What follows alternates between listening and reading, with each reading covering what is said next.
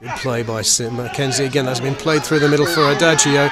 And the fall has helped Coventry out.